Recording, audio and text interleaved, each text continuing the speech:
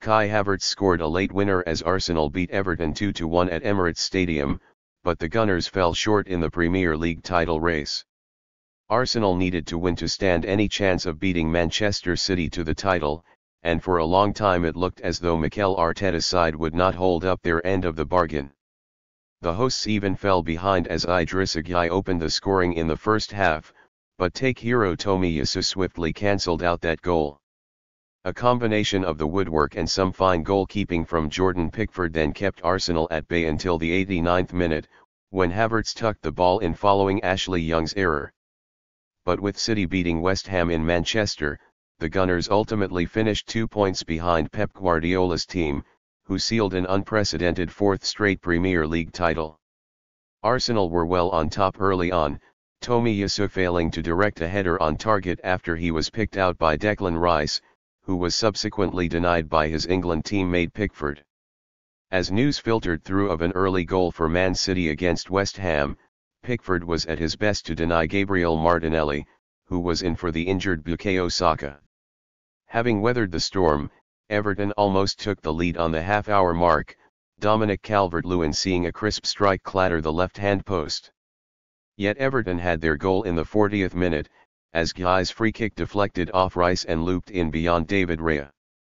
Everton's advantage was short-lived, though, with Tomiyasu atoning for his earlier miss as he lashed home from inside the area, with that goal coinciding with news of West Ham getting one back against Man City, and a huge roar of encouragement from the Gunners faithful.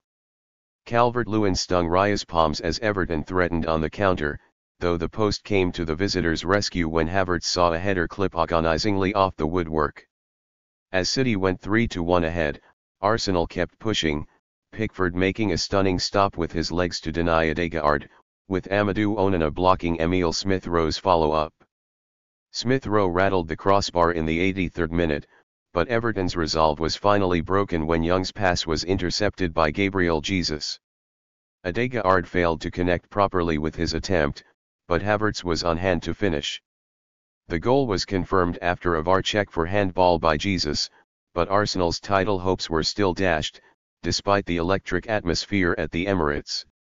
It was fitting that Arsenal ended what has been a superb campaign on a high note, and they certainly had plenty of chances, having 26 shots in total, before Havertz finally got the job done. But competing against City is a gargantuan task, and Arsenal could just not get over the line in the end. Arteta will reflect on a fantastic season, and now the challenge is to somehow go one better next season. The atmosphere at full time was one of celebration, Arsenal's fans know just how close they came, but it was not enough. With Euro 2024 just around the corner England manager Gareth Southgate will be thrilled to see Pickford in such solid form. Only Golden Glove winner Raya, with 16, has kept more Premier League clean sheets than Pickford, 13, this season, and the 30-year-old was excellent on Sunday. While he was beaten by Tomiyasu's low shot, Pickford had already made smart stops to thwart both Rice and Martinelli, though his standout save was the one to frustrate Odegaard in the second half, and he was unlucky to be on the losing team.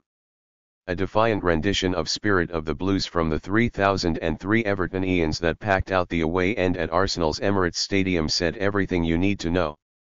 A controversial goal may have seen the Blues condemned to a 2-1 defeat late on in North London, ending the club's five-game unbeaten run but, after the natural disappointment of conceding in the closing stages, attentions amongst those travelling supporters turned to showing their appreciation for the players who had stood up to an unprecedented campaign to muster a 15th placed finish after two separate points deductions.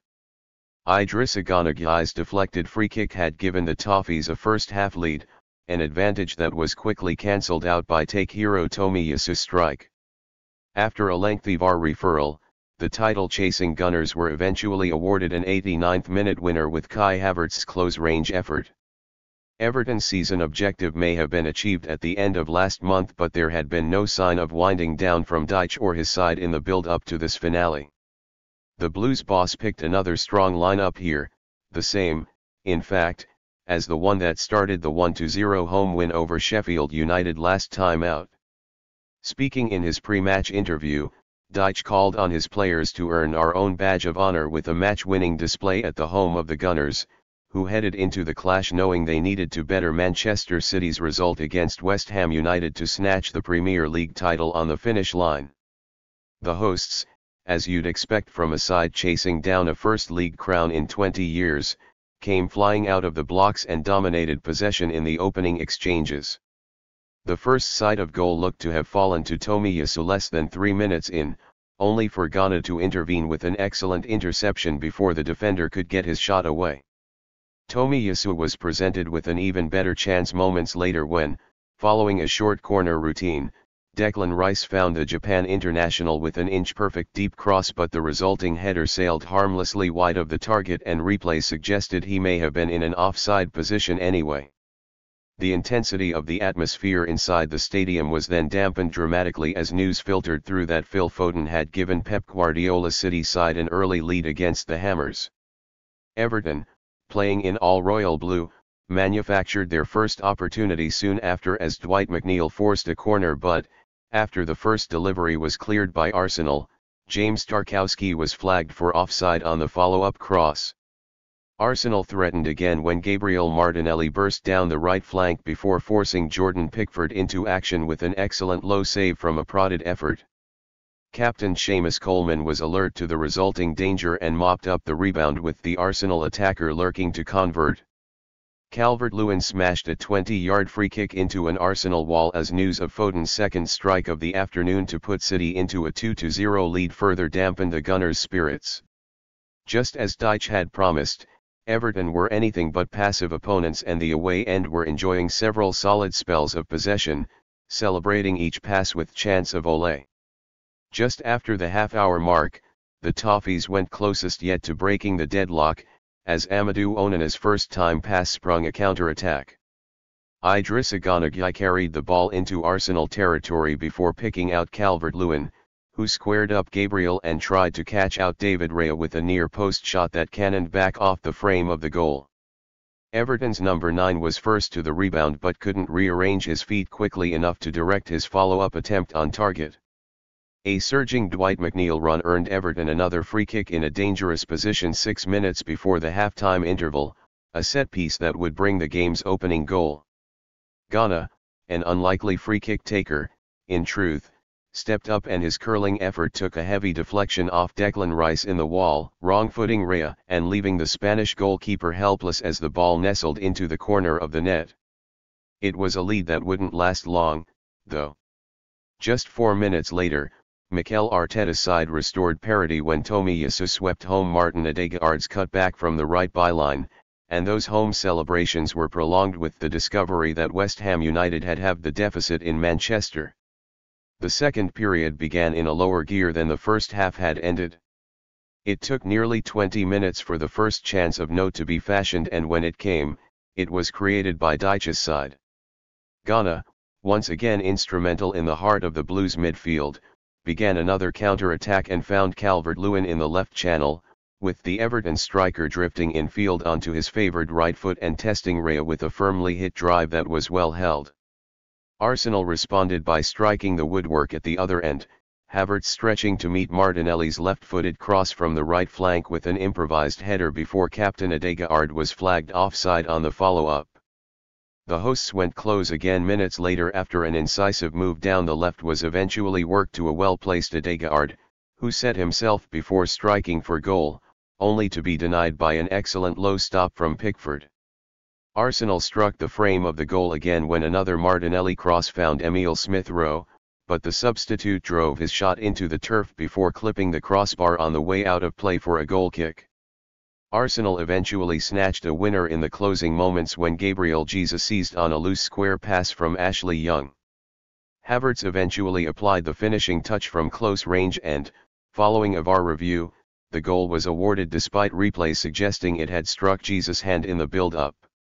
That would be the final action at the end of an unprecedented Premier League campaign that ultimately saw the Blues amass 48 points, before deductions. Arsenal fell just short in our hopes of winning the Premier League title but Kai Havertz's late goal ensured we ended a season to remember on a high by beating Everton. Despite having nothing to play for, the Toffees proved to be tricky opponents and took the lead through Idrissa Gueye's deflected free kick, but we instantly replied when Takehiro Tomiyasu found the bottom corner.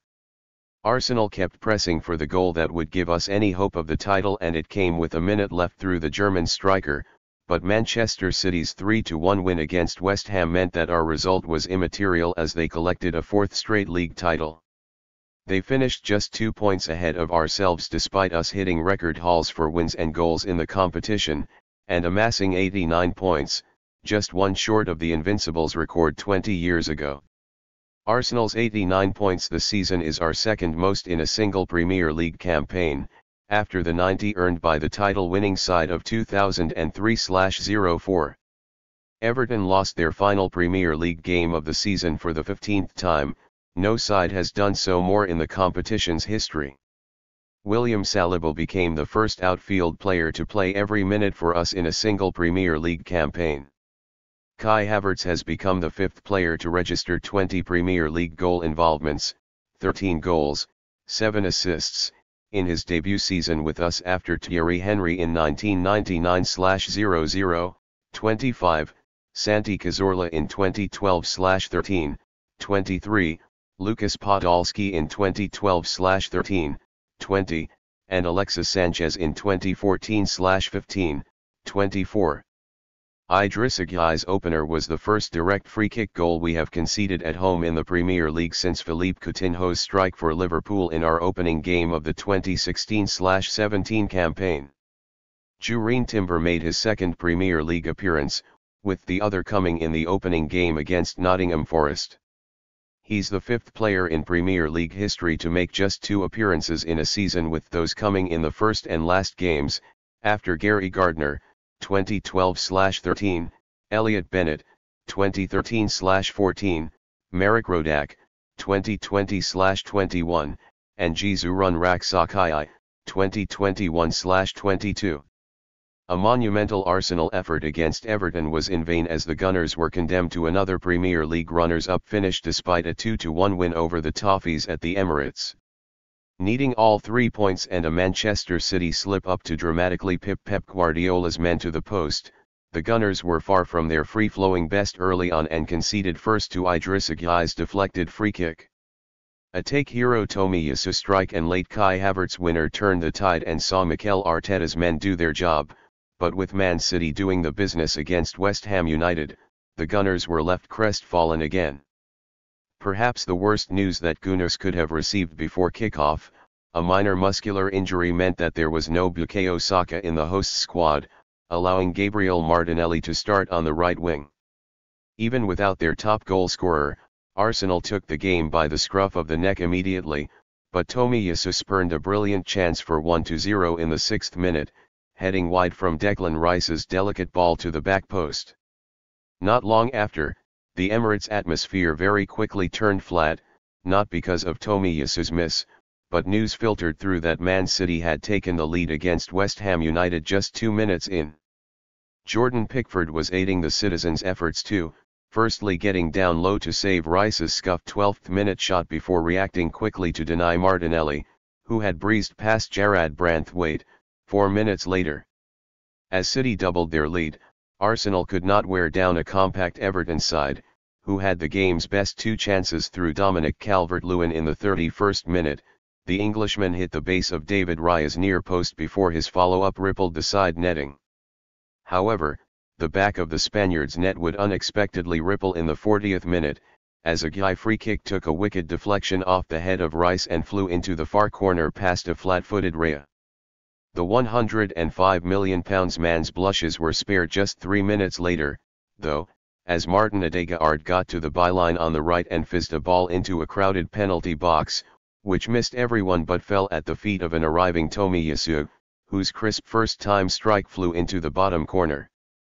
Tomiyasu's equalizer preceded West Ham pulling a goal back at the Etihad, leading to a renewed sense of optimism around a rejuvenated Emirates, where the halftime whistle brought an end to the injury time chaos. Speaking of injuries, a coming together between Abdoulaye Doucouré and Gabriel Magalhaes saw the Arsenal man come off worse, he was visibly struggling with a shoulder issue and was replaced by Oleksandr Zinchenko. Normal service had otherwise resumed, Arteta's men were coming up second best against a sturdy Everton backline, and Raya was forced into a terrific diving catch from Calvert-Lewin's 63rd minute curler. Arsenal's own talismanic attacker Havertz then headed, or shouldered, one of his own against the frame of the goal in the 67th minute, before Emil Smith-Rowe and Timber were brought on to rapturous applause. A combination of Pickford and Branthwaite then somehow kept Odegaard's close-range effort out in the 71st minute, and the ball just would not go in for Arsenal, Smith Rowe was the next to hit the bar with a half volley in the 83rd. However, the elusive second would finally arrive for the hosts in the 89th minute, as Ashley Young's poor pass was intercepted by Gabriel Jesus, who combined with Odegaard to set up Havertz for a close-range finish. The ball appeared to strike Jesus's arm in the build-up, but the goal stood after a check of the screen from Michael Oliver, as the Gunners ended another campaign of close yet no cigar in ultimately positive fashion. See you next season, thank you for watching this video.